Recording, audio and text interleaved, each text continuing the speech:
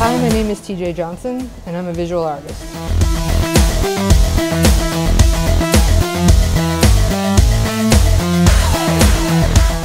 What got me started in visual arts is wanting and needing a way to express myself. And I originally got into film, realized that wasn't the way I wanted to go, and uh, started doing painting and found that that was my niche and how I really love to creatively express myself. The process of my painting, usually I see my paintings in my head before I ever paint them. I don't usually sketch them. So um, usually once I get an image, I um, then put an emotion to it and what I'm feeling, and then gather all my um, supplies. I usually use pouring medium and acrylic paints and um, squeeze bottles actually a lot, and uh, use that to create any type of um, image that I, an emotion mainly that I'm trying to bring to my painting.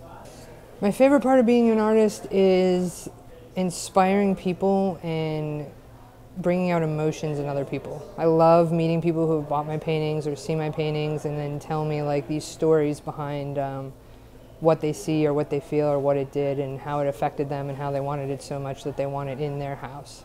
So it's, it's inspiring is why I'm an artist. I want to inspire. I want my art to take me around the world. I want to travel. I want to volunteer. I use my art to already volunteer with some uh, LGBT groups here to help teach the kids to express themselves in a different form.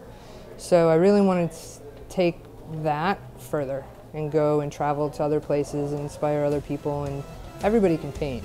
People just don't realize it. My name is TJ Johnson, and I'm a raw artist.